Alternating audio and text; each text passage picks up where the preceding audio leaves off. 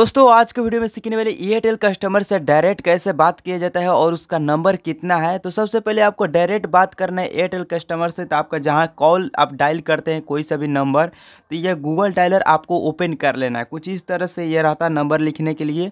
तो आपको one two one आपको यहाँ पर डायल करना है। जैसे मैं यहाँ पर वन टू वन यानी एक सौ इक्कीस आपको डायल करना है और सिर्फ़ इस पर आपको कॉल पर क्लिक कर देना है। ईजिली आपका यानी कि कॉल लगना शुरू हो जाएगा। एयरटेल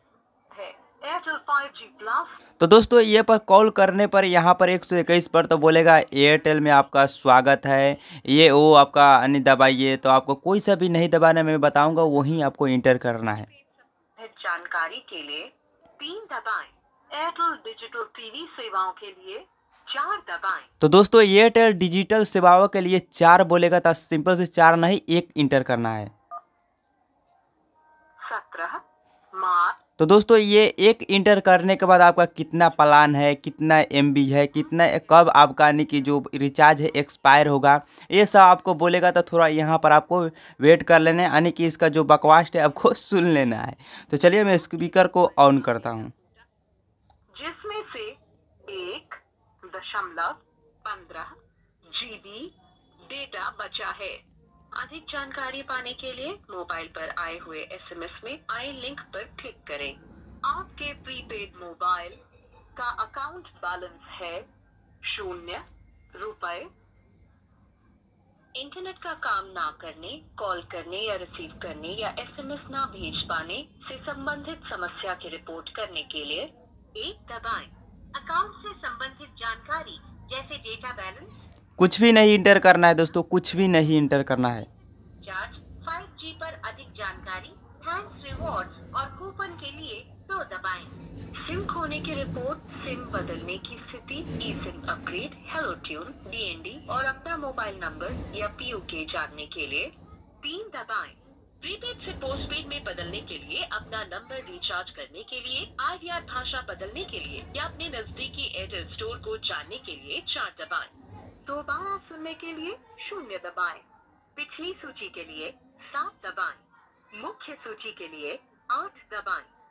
तो दोस्तों यहाँ पर आपको बोलेगा मुख्य सूची के लिए आठ दबाए तो आपको आठ इंटर नहीं करना है ध्यान से आपको एक ही इंटर करना है यहाँ पर यदि आप डेटा सेवाओं या इंटरनेट का उपयोग करने में असमर्थ है तो एक दबाएँ। यदि आप कॉल करने या प्राप्त करने में असमर्थ है तो दो दबाएँ। एसएमएस से संबंधित समस्या तीन दबाएँ। दोबारा सुनने के लिए शून्य दबाएँ। पिछली सूची के लिए सात दबाएँ। मुख्य सूची के लिए आठ दबाएँ। हमारे कस्टमर सर्विस स्पेशलिस्ट से बात करने के लिए नौ दबाएँ। तो दोस्तों यहाँ पर कस्टमर स्पेशलिस्ट से यहाँ पर नौ इंटर कर देना है यहाँ पर कॉल लगना शुरू हो जाएगा बने रहें आपकी कॉल कस्टमर सर्विस स्पेशलिस्ट को ट्रांसफ़र की जा रही है तो देख सकते हैं मैं कैसे बात करूँगा? यहाँ पर कॉल लगना शुरू हो गया है दोस्तों। नमस्कार एयरटेल में आपका स्वागत है। मेरा कैसे आपको कैसे सहायता कर सकता हूँ? सर मेरे फ़ोन पर थोड़ा नेट स्लो चल रहा है। नेट स्लो चल रहा है लाइन पे बने रहिए मैं आपका डिटेल चेक कर रहा हूँ सर जी सर चेक कीजिए।